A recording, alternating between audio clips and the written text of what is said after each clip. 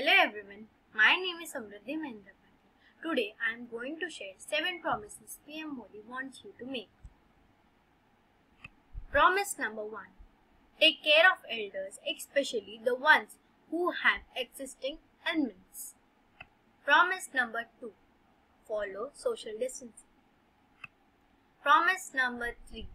Use homemade mask. Promise number 4. Improve your immunity and download Aarogya Setu mobile app for assistance. Promise number 5. Help poor families by providing them food.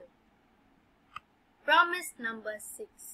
Be empathetic towards your worker and employers do not end their employments.